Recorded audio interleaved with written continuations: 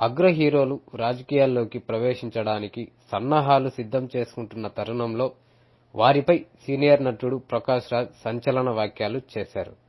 Cinema నటులు రాజకీయాలలోకి రావడం నా దేశానికి ఓ ప్రమాదం లాంటిది అని జోష్యం చెప్పారు. హీరోలు అనగానే వారికి చాలా మంది అభిమానులు ఉంటారని వారి పట్ల తమకున్న బాధ్యతపై నటులు అవగాహన కలిగి ఉండాలని సూచించారు ప్రకాష్ రాజ్.